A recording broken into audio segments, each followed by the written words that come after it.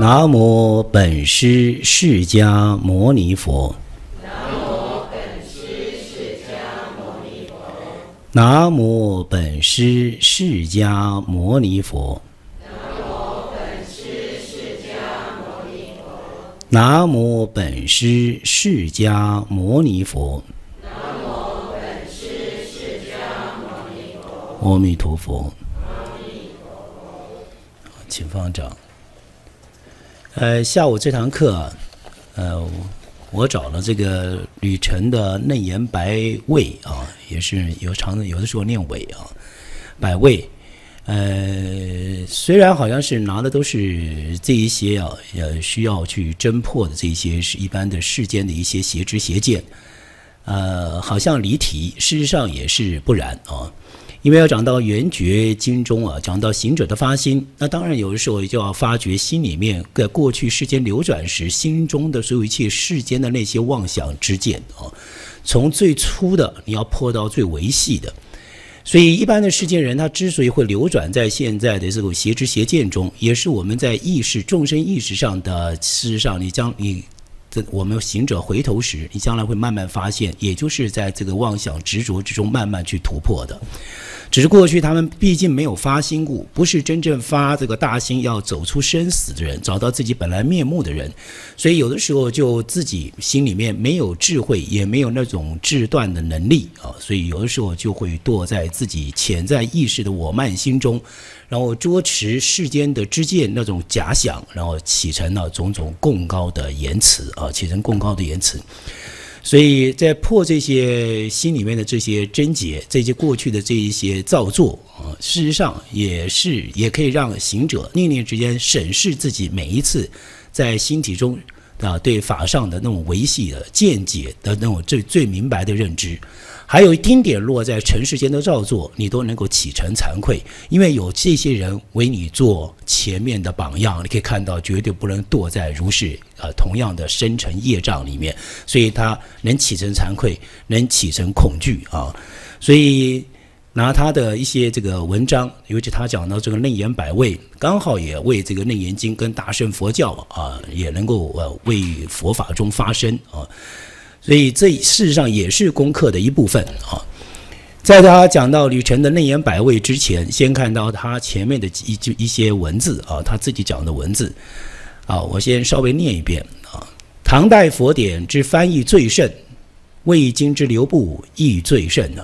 人王为也，梵王为也，起信为也，圆觉为也，占察为也。时差翻重翻起信，不空再意人亡，又魏中之谓也。哦，可以看到这种狂妄的。唐朝从隋唐开始，也就是中国佛教有很多经典大量的流入中国时，那个时候也是中国不管是在儒家，在士门，也正是贤能辈出的时候。所以，也就是中国的很多的文化，也就是在隋唐两个朝代之中留下了，尤其是汉啊、汉、隋唐这几个朝代里面留下了中国文化最丰富的那一页。所以那个时候都是贤能辈出的时候，讲在那个时候，大家都是在译伪经，那似乎就把唐朝讲成就是一个诈骗集团，在那个朝代几乎都是诈骗集团了。更何况那个时候，所有的他刚刚讲的，像这个人王啦、饭王啦这些起信啊，那都是祖师，都是有德的祖师、开悟的祖师、有圣深禅定的祖师翻译的。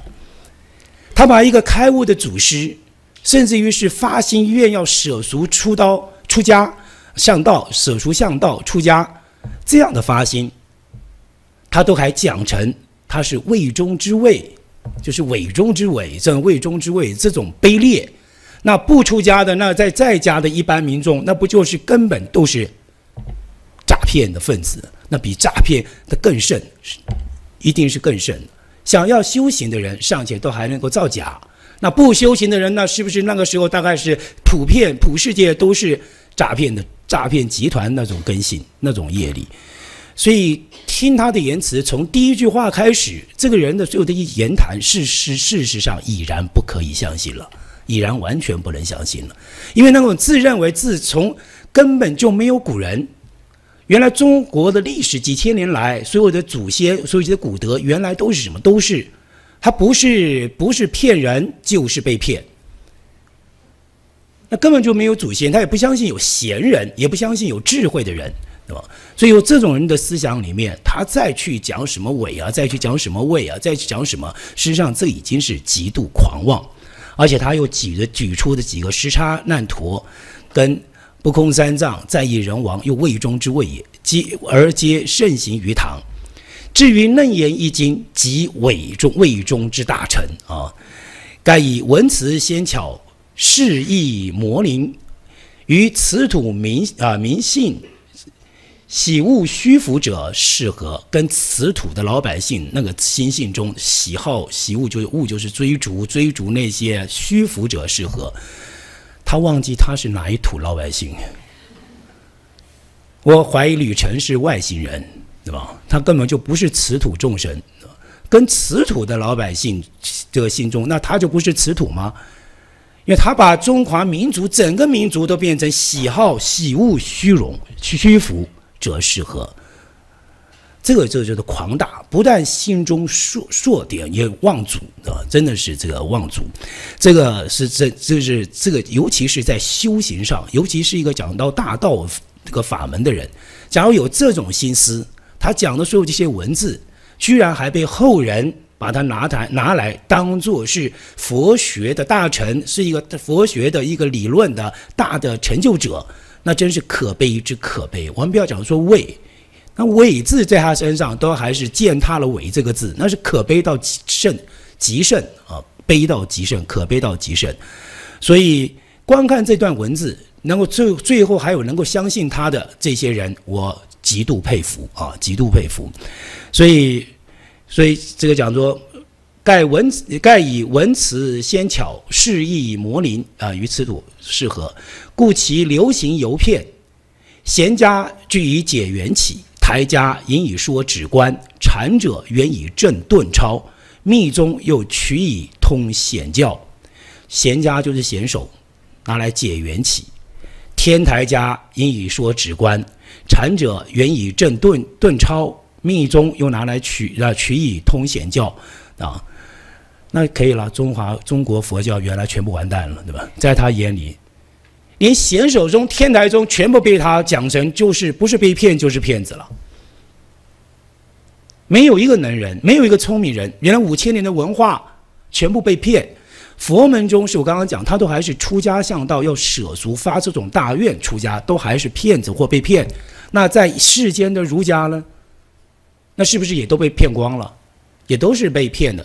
因为此土民此土民性依他来讲就是如此了，那么要照他来讲，中国五千年根本没有文化，全部没有文化，啊，所以用这种语言在做他的嫩言百尾的前面的这个引言，实在是啊，实在是可悲啊。所以宋宋明以来，世子谈玄儒者辟佛，盖不涉及，盖无不涉及嫩言也。宋明以来，宋朝啊，宋儒啊，不要说在谤这个辟佛，宋朝都还在自己的宋朝儒家都还在坏儒。宋朝儒家是大乱的，儒家都还在坏儒。先不谈宋朝宋的末以后那个那种情形啊，只是说后面会在这边不断的争辩。那当然其来，它都一定有它的因因缘啊。为什么会争辩？尤其在内言上面，只有这种争辩。等一下会说啊。所以无不盖无不涉及论言也，一门超出而万行俱废啊！他讲说这一门超出而万行俱废。事实上，这部经中在经文中有一句话叫做“佛告诉告阿难，有三摩提名大佛顶首楞严王，具足万恨，一门超出妙庄严路。”他讲的是具足万恨啊！你怎么能说万行俱废呢？讲到这个大佛顶首楞严王，这个顶就是一切大觉的根本，那叫做大佛顶。所有的一切感觉都没有离开过大觉的顶上出现的，大觉顶上就是大觉的根本最根本处，叫大佛顶了。就好像净色现前处，每一个净色的变化里面，它从来没有离开过镜子最清明的光明顶。因为有如是镜子的镜性的光明顶，所以它才能够随缘呈现种种呈现出种种镜色的庄严。所以讲到大佛顶的意思是让你看到根本大觉心体的最最根本的庄严处啊。你能够念念之间，行者若是念念之间都在觉体的根本上面做观，也就是我们中国人常说的本立而道生。你能够打本，你心中才能够真正深入一切智慧的。所以你在深入智慧时，你是站在哪里说深深入的？就在这个根本之中，你才能担当的嘛。前面你要认那个大佛顶，自然你就能够在根本之中能担当这一切。你在担当这一切，这一念心是一切万法的之源，是一切万法的头首啊，叫守内言。所以《内言经》二字，嫩字叫做立四方木，从一个木立一个四方，叫做嫩。所以一切法中坚固义啊，立四方目，你就是能够看到一切四四方能够万法能够成立建立处啊，也叫坚固义啊。所以叫大佛顶守内阎王，在这个上面你才能够主宰，你才能够统御一切万法。所以那个那个统御跟主宰，那个心中的智慧担当叫做王相。你心里面站在如是的智慧体上，那个王相，你才能够治理你的所有的一切起心动念。起心动念叫做万民，才能够治理万民。这个起心动念包括你，包括你现在所感觉到说的一切的依报世界，所感觉到的一切世间的万法，所以当然是首任阎王嘛，具足万恨就在这里面。为什么再说具足万恨？这一念心首任阎王中，他一定能够具足一切法。因为你要站到手中，它是能做具足相、具足想跟具足相。你要是堕在墨中、逐墨之中，不但在墨中，你彼此都不能知，何况你还能够做说具足？你堕在墨中，你只能在墨中执着，就好像镜子堕在黑中，你只知道黑。你不但已经背离了镜体，你你甚至于根本不知道什么叫做白。你连镜体都不知道，白也不知道。事实上，你连黑你也不太清楚。你虽然是黑，但事实上你已经茫然，叫当局者迷。所以能具足万恨的，就表示你一定是站在大佛顶根本心中的本来一切万法的头手上的。所以那个叫做一门超出啊。所以那个超出是什么叫做超出？那个超中啊，是本来的本来心性之中，他在一切万法之中本来的超超越。他在万法中的超越，所以他能够出现一切万德。超越就是你不堕在任何的相中的剑刺之中，你不是你不是堕在心中的那种过去，你感觉到心里面好像就是随缘的种种次第次法上的，所以那是超，所以你能够出显，你能够真正光显一切智慧，那是出。所以那叫一门，你能够在这个一门之中，这从来不二的种种的智慧之中，你在这一个一门之中这样子如法出入啊，你能如法担当，叫一门超出啊，叫做妙庄严路。所以你在看到一门超出时，你看到一切万法呈现处，所有的一切感受或者是念头的偏离处，哪个不是你大觉心体随缘的所有一切心机脉动之路啊？都是它的脉络。所以叫妙庄严路啊，都是你现在看得到你心行或者是心机跟行机所流动处啊，能够成就处啊，这叫妙庄严路。他连这句话他都没有读到，他居然还一门超出而万恨俱废。我还在怀疑吕晨读过《楞严经》没有？他要读过的话，他要写这句话，他应该要生心生惭愧啊，他要心生惭愧啊。你没有读过，你居然还可以说一门超出，万行俱废。这文章之中、经文之中，连道理上面你都不能够体会啊！道理上不能体会，姑且可以原谅。文字你要跟我讲说，你到底看过这句话没有啊？他连文字都没有看过，所以你就会发现，在民国那个时代已经有这样的人了，就是他可以在这边空口讲白话，还可以大言不惭，说我学祖师，所以我可以不盖道场，不收徒弟，我徒弟都别人收的啊。就是这样，如是大言不惭的人，其实民国就有人在。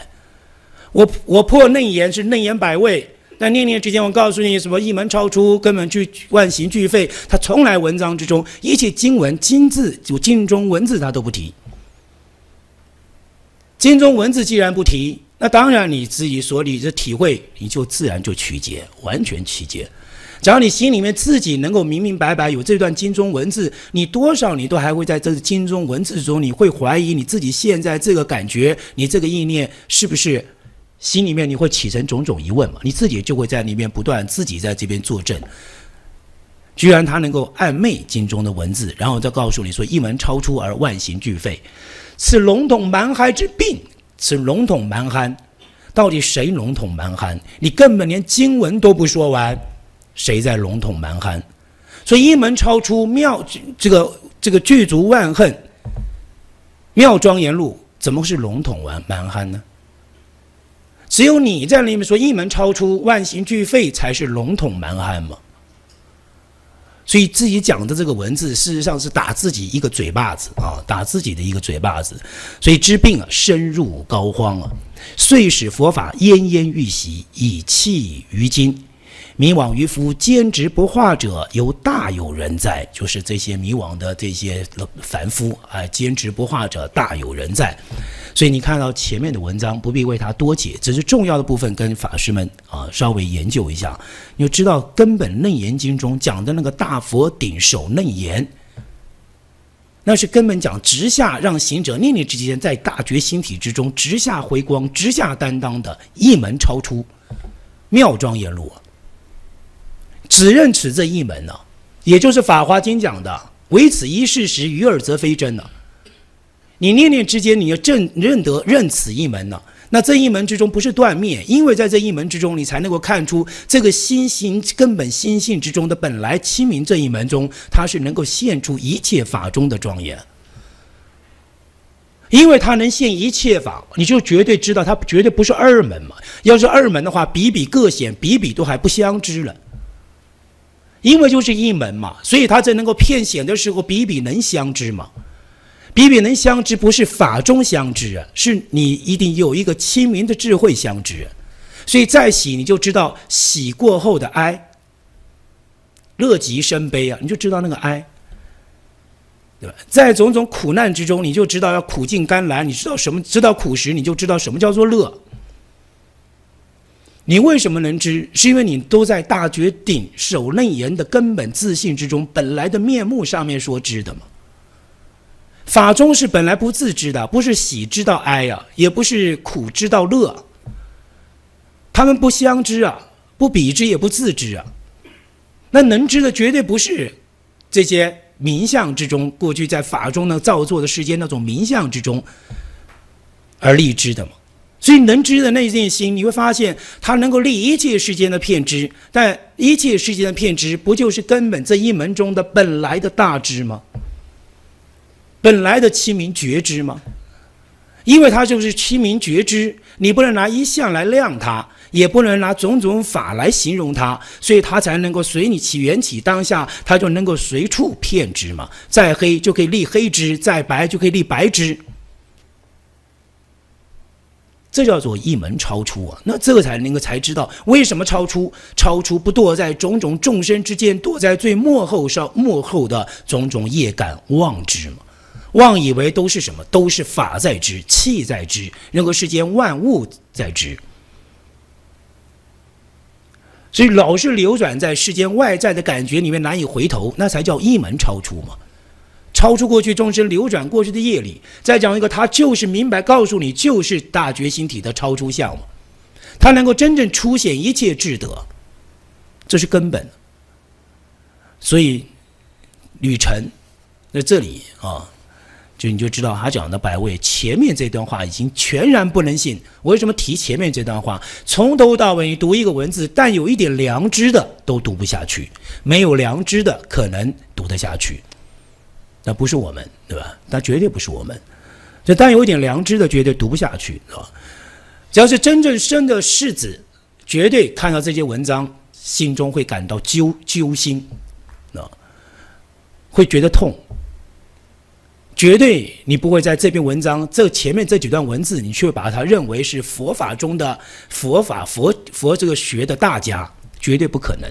吕澄自己还给自己一个字字字号，叫鸠子。就是灵鹫山的鹫，对吧？就是讲意思就是他是舍利佛，鹫子，字号救子，他不叫救子，叫揪心多好，对吧？救子干嘛？揪心啊，直接直接指到心，就是揪心啊。所以在这个上面，先不谈他这个文字，先看他的摆位摆尾。当然，我也看了，这我这次来，常住法师给我看了一个闽生这个法师啊写的这个破这个内言摆尾的这个文字啊。但我好像看到这本书，好像在网络上并不是真正广为大家在阅读的，所以也是可惜啊，也是可惜。所以你要只要看到，只要是真世子，那一定他都知道这里面他那个旅程的文字之中的那一些啊，这叫粗略，真是粗略，连一点最初世子门中刚刚入门的基本的佛学他都不通，都完全不通。啊，基本都不同了啊！就像刚刚讲一门超出，还就才万行俱废啊，那就是连文字上面它都不同的。所以先我就找了几个，先讲它的其位一啊，《楞严经》题下原著于一名中印度那烂陀大道场经于灌顶部露出别行。他说这个是窃取《陀罗尼集》《陀罗尼集经序》，从《金刚大道场经》出之语而易改之。金刚道场为菩提金刚座，佛与彼说一字顶轮王经等者是也。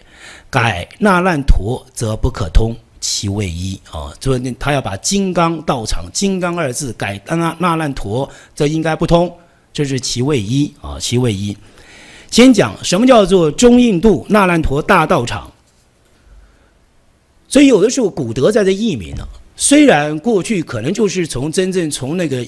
这个国度过来的经典，它如法译名。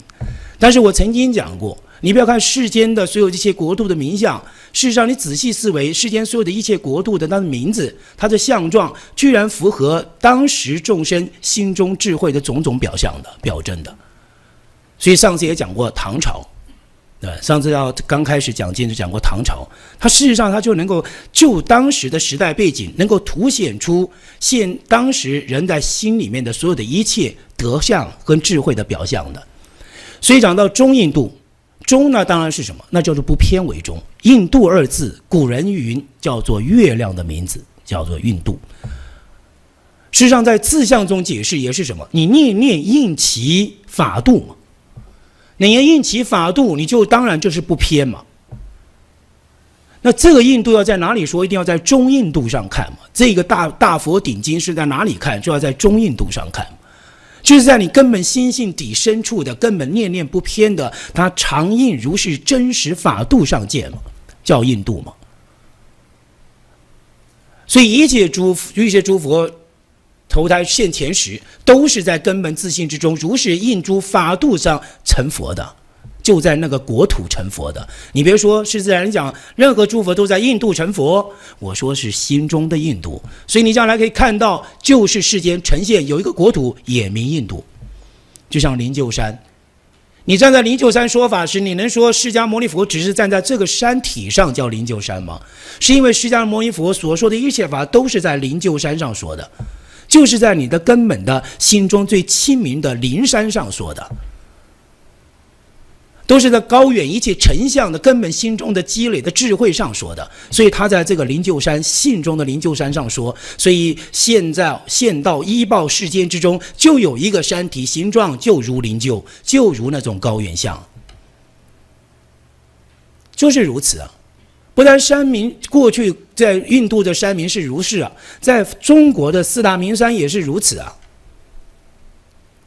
因为菩萨的智慧，其实你仔要是尤其是佛门弟子仔细思维，他是最能够相信那一切万法哪不都不是心中表现的，心中就有如是德，世间他就能够显出种种德相之中的名跟貌的庄严，名字跟相貌的种种庄严。所以讲到这个德中，当然是在什么？当然是在性体的最根本处讲的。所以讲到菩萨威德。既然讲到菩萨威德，讲大智文殊，大智一定是什么？一定是转过去的五蕴成五智嘛。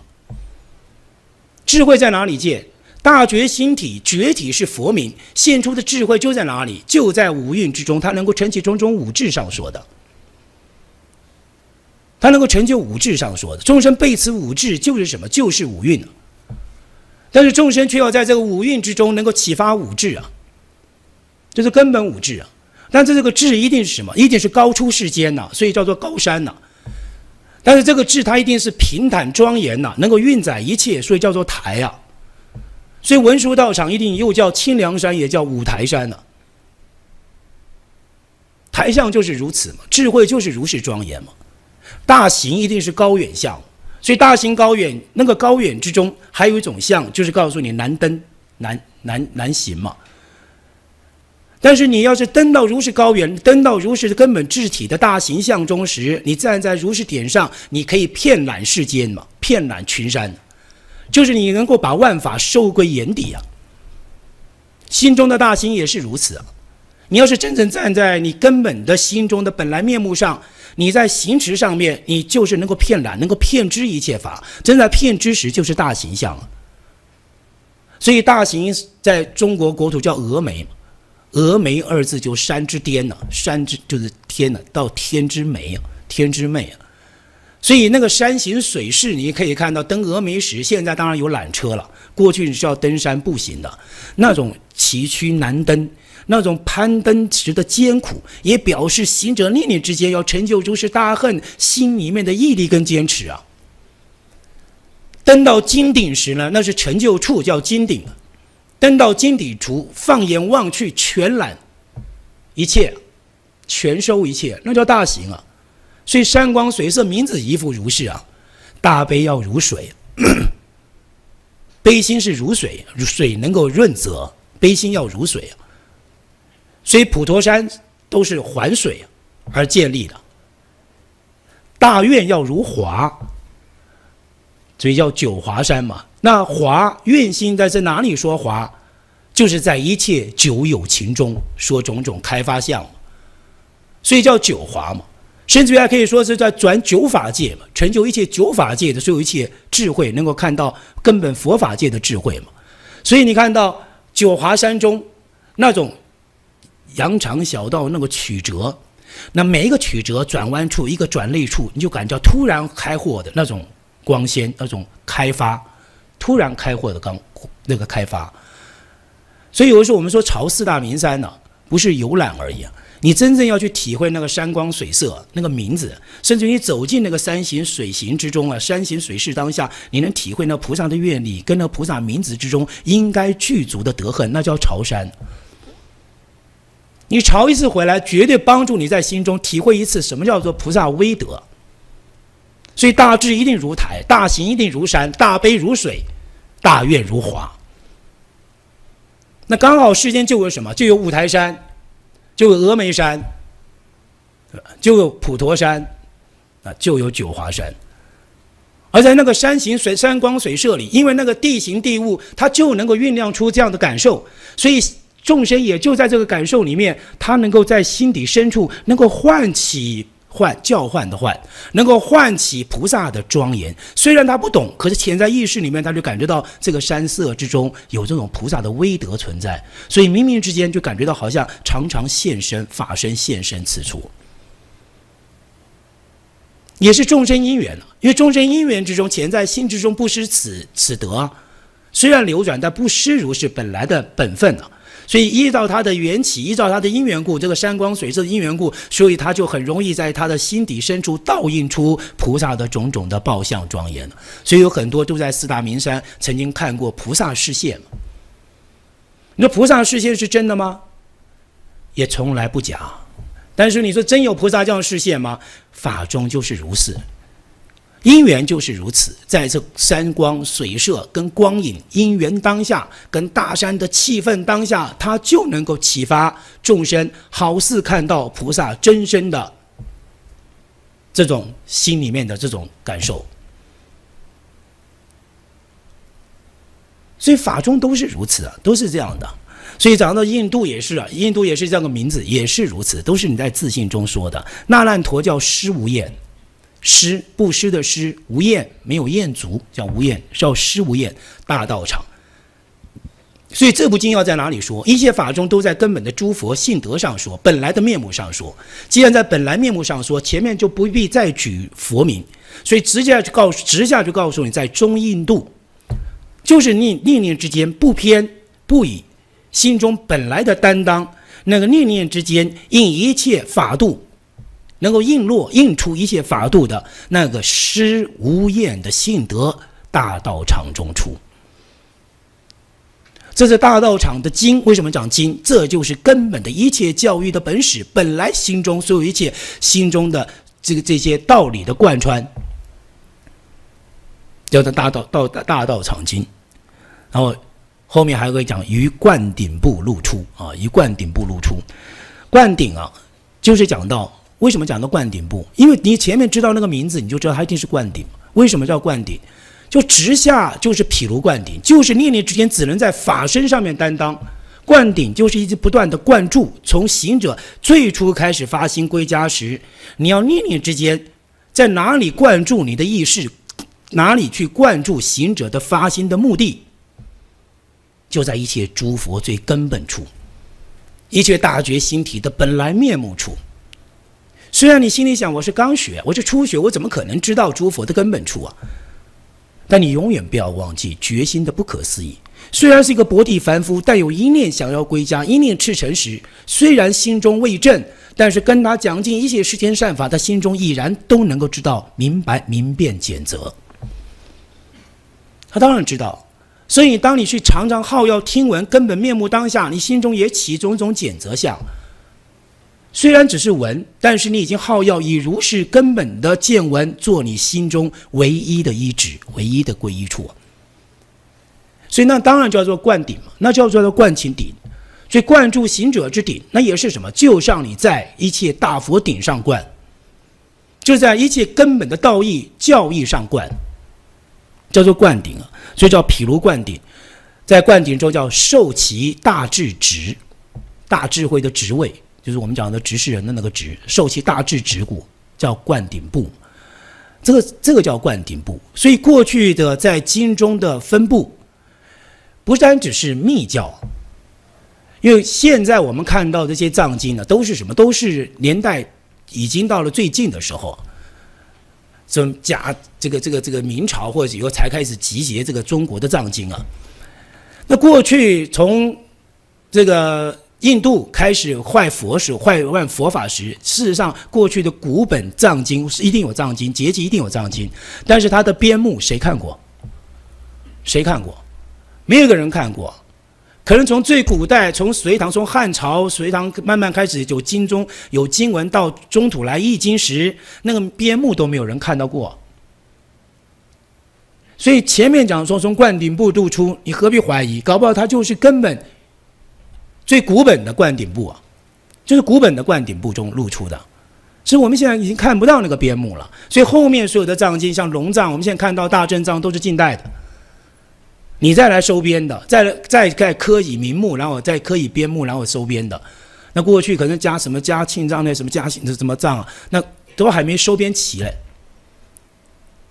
不是加庆藏，我都讲错了，对吧？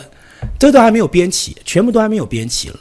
所以不是那不是现代人所看到什么怎么在灌顶部，或许有人说他根本没有收录在灌顶部。你现在的看灌顶部是后人在收录的，在灌顶部中是后人在收录的。那古本大家都没看过，先先讲这个啊，先讲说古本根本没人看过，所以你也不必起疑，他是不是在哪个灌顶部？那事实上在灌顶部中，佛门中尤其在密法，密法你不要一讲到密法，我们就很直觉就是藏密这些。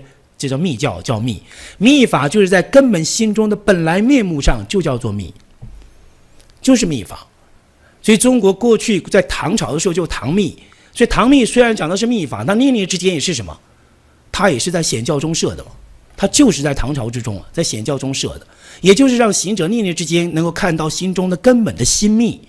虽然看到的所有一切修行都是行为上的表现，但如何把行为上的表现念念归于心密？你要念念归于心密时，你才能够念念能够什么？能够出显一切庄严。所以才会说显不自显，显它不是自显的，因密曰显；密不自密，因显曰密一个善行，他一定要知道善心，善心为密，善行叫显一定看到你的行为显现善心是看不到的，所以叫做密但是你的善心要在哪里修集？一定在善行善行上广集如是心嘛？你没有显，如何集如是心？所以你的心中是要在善行上显。那善行呢？要在哪里才能建立？你要天天善立于善心嘛？你自然在心中天天懂得立善心，你自然就能流出善行嘛。所以你指的是密，你看的是显，你指的是显。你修归的是密嘛？所以密教，就算现在你所认知的密教，但一天到晚都持咒那些，你以为持咒叫做密，那都是着相的说法。这个这个肢解，那个持咒不就是显吗？就是持咒嘛。所以他在持咒当下，持咒观想，运用种种供养云，供养十方，做种种大供养，那不就是在心中显出那所有的行为吗？那。你可能只是会问，那为什么在密中只是做观想？可能观想是密，不是密中做观想。啊 观想有时候要要表现出行为的，只是在那一土的众生，那地方贫瘠呀，根本没有东西可以布施啊。你可能要布施的，他家也有啊，不必你布施啊。你能有的他都有啊，你没有的我也没有啊，怎么布施啊？那个地方非常贫贫困。所以过去为什么会堕在这么贫困的环境里面？什么样的资具都不具足呢？就是过去生中没有跟众生种下善因缘嘛，没有在众生身上结下种种福德。所以今生虽然投身世间、投身人间，虽然还有如是的因缘能学佛，但是过去之中不修福德故，所以今天还堕在比较贫困的环境里。所以他要在修心中的供养时，供养是供养什么？就是供养现前的所有的一切的行为。你能够在一切行为的供养里面，你能体会，那就是心密，又如同我们是在根尘上做官是一样的道理的。根尘上当当下下手也是一样的，因为我们供养就是根尘。但是在根尘上面，你你能够行者慢慢体会的是自己根本清明的决心，那就是修密。所以你只能做官，我官想供养什么？供起大供养云聚供养。其实那个官，那个做官要站在汉土，汉土的多半的众生，当然只能讲多半还有福德，当然有富有贫，贫的当然也是不收不修过去的福德。那今生活在这些有还有富人的环境里面，那就要受大苦啊！为什么？你要是站在那些都是很贫穷的人，你不会觉得苦啊？大家都穷嘛。你穷又穷在很多富人的地方，你很苦啊！你看了以后心里都真挣扎。不但你受苦，你心还苦啊，你心都苦啊。但是在中原之中，在中土那还有富人，表示那些富人，我不是讲说全部的富人，我是说有德的富人，是过去一生中跟众生结出善缘故，因为他心他的行为结出善缘，行他现在的受报是富足。事实上，你仔细思维，他有的时候心思啊，也是富足的。这个环境中就是这样的。我不是说有钱的人一定都是一定都是聪明人，不是这样讲，你不要错看。现在完全都不是了，有钱的可能就是丧尽天良的，对吧？但是要是站在报相中来看，真正修过福德的那个有钱人是那个富贵之人。富贵就是他心性之中你能看到那个贵相的，不是那个斤斤计较，一天到晚只知道为自己的名利不断争夺，那个叫做富贵。那个就已经叫不叫富贵了。所以讲到真正的富贵之人，你会发现他的心思也非常，也是非常富足的，也是非常缜密的、清楚的、清晰的。所以站在那里，他你在说他只是做官，我要怎么布施人？这个叫堕落。你不能做官，你就念念之间，你就要出来行为，能够展现出行为。所以修法的不同，也跟此土众生的现前因缘有关系嘛？也有关系嘛？那你说持咒是密，那你不知道念经也是咒吗？那念念让念念让你运心成立，都叫咒意啊。所以咒这个字，这个意思就叫运心成立啊。你看到经文之中，你以为经的那个每一个字都是很明白的写出那个字字相，你以为那就是显意，你不知道那个字相才启发你是你心中根本不是在字相之中所得的心中的真正深深的甚深的道理啊。就像我讲的《地藏经》，你看起来都是譬喻啊，都是故事。可将来你读完以后，你会发现没有一个没有一个字是真正躲在故事的情节里的，他说假借故事的情节，启发你心中本来有的面目的，所以也是达密。所以哪个不是咒语？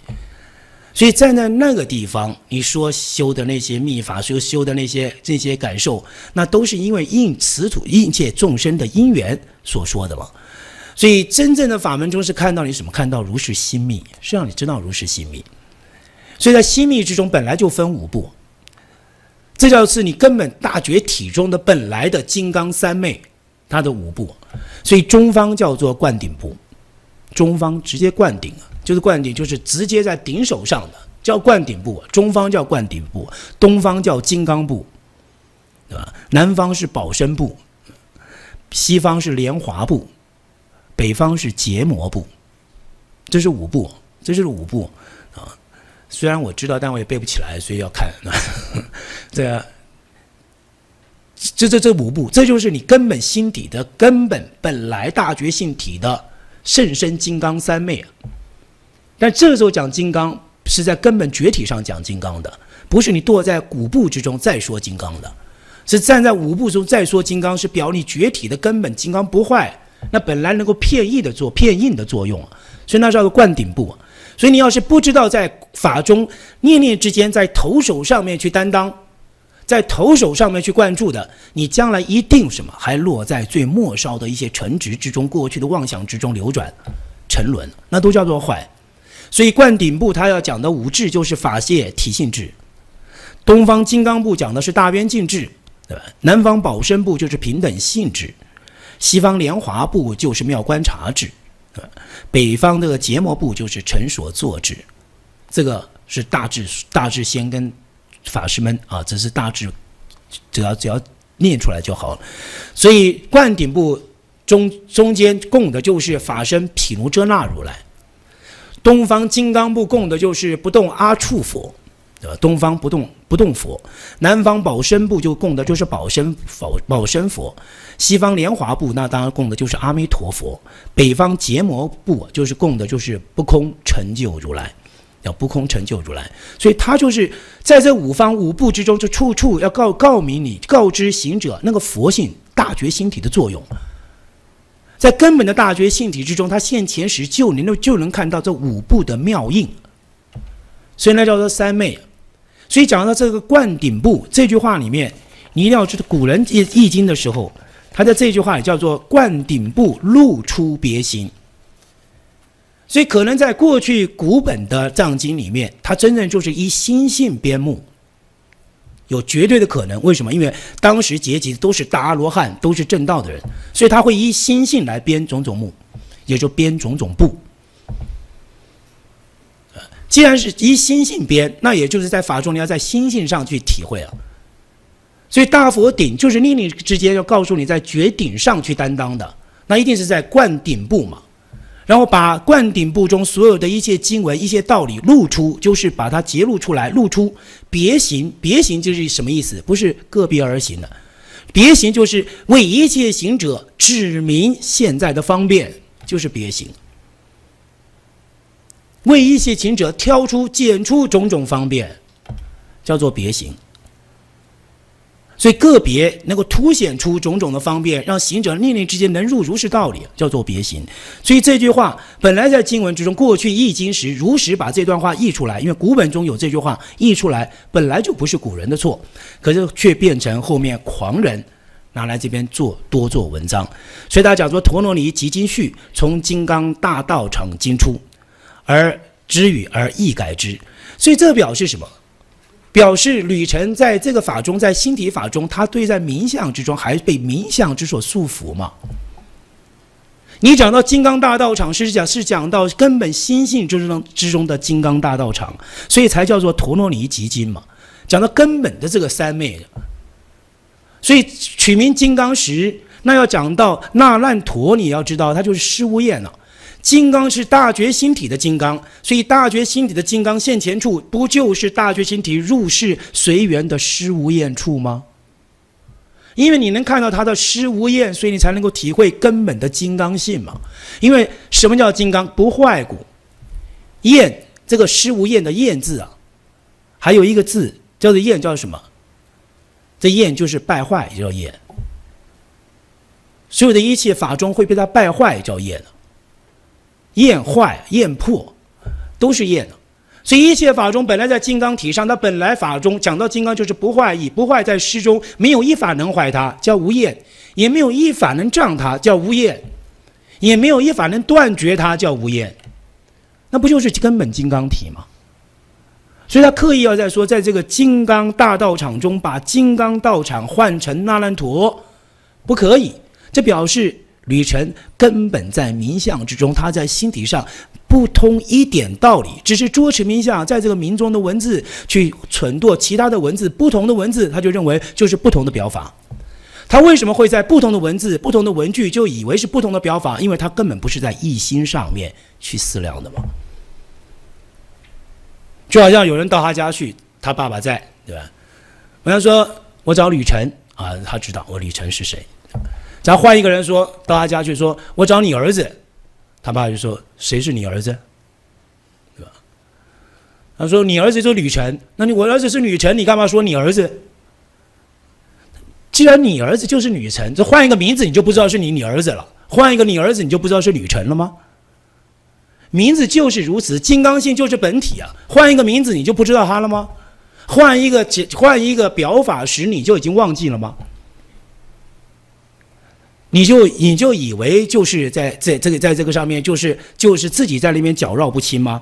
所以你要是真正不知道，你要是在这个文字上面、名相上面都还自己搅绕不清，那你也就根本不可以、不可能说下面像金刚道场为菩提金刚座，佛以比说一字。顶轮王经，什么叫一字顶？就在大觉心体上说的一字嘛，是在这个根本不空三昧之中说的一字嘛，叫做一字一字顶嘛。所以在这个一字之中，你要辨认一切字相啊。你捉的那个一字，然后其他的字你都解释不出来了。讲到那烂陀，你就认为说不是了，那你怎么还叫一字顶呢？你怎么还能明白一字顶呢？所以，这叫做真正就是根本不通心性，也不通法性的狂人所写的文字啊！狂人所写的文字，所以改那烂陀则是不可，是其尾一啊！他讲到是其尾一。再看到他的尾二，密布经轨有灌顶曼陀罗做法，乃称于灌顶部，如大日经、金刚顶经等事。内言全经无入灌顶坛之说，而杜撰为灌顶不出其尾二。刚刚我已经讲了灌顶部的意思。他说经文之中根本没有入灌顶的这个这个言文字。事实上，敏生法师已经告诉你，在文字之中，内言经中就有灌顶。十方诸佛如来来灌其顶，他建立坛场，建立种种坛场，建立密坛。十方诸佛来灌顶，灌其顶，文字之中都有灌顶啊。更何况是在根本心性上说的灌顶部啊，不是我们现在刻意自己不断在那边在心性之外在感受在文字上面搅绕的灌顶啊，所以他说曼陀罗，曼陀罗叫做达本，也叫做心中的髓啊，也叫坛城，也叫做道场。所以这个是你在打本时，你能看到大圆形体叫曼陀罗的修法，就是你在打本处，所以它有一个中尊，然后你能够看到心法之中的那个骨脉相连，聚成轮一个圆轮，能够聚意聚成圆轮，那个轮叫做圆，叫做圆满意，但是也聚集一切意，在哪里聚集？就是在中尊，所以中间就是那个，譬如说你是哪一个曼陀罗中尊，譬如法身，法身曼陀罗，那就是毗卢遮那。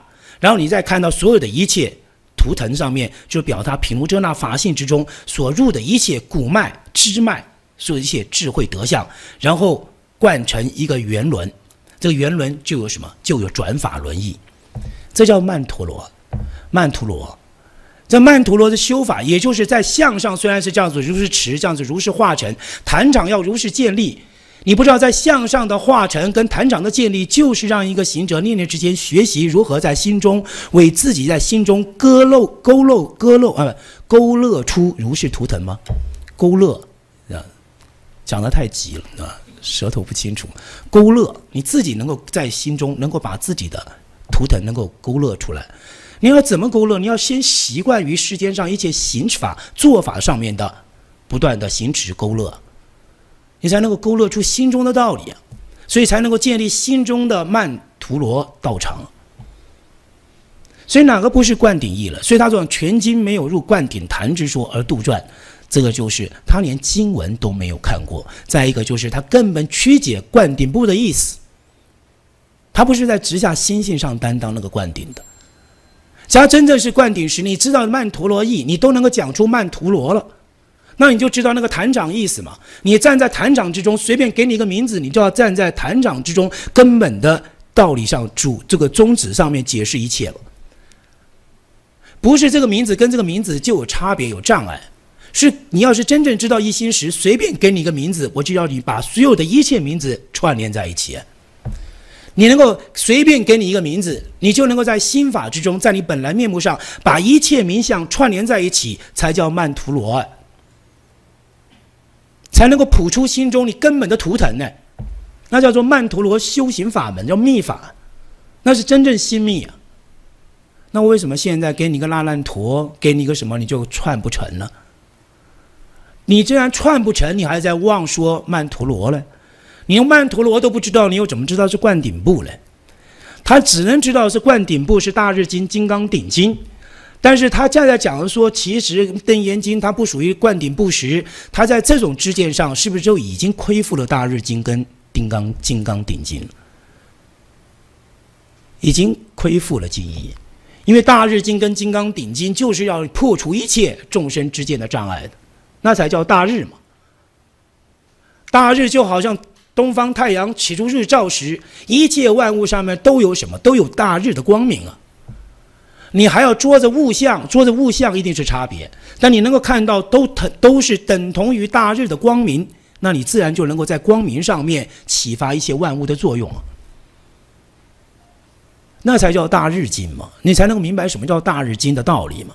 所以他想说杜撰，杜撰为灌顶部出其为二，你就发现他那个文词中卑劣到如此，经文呢，甚至于道理都不通，心法都不要说心法，法性都不知道，然后卑劣至如斯。那当然看前面的那些他的文字呢，当然更明白。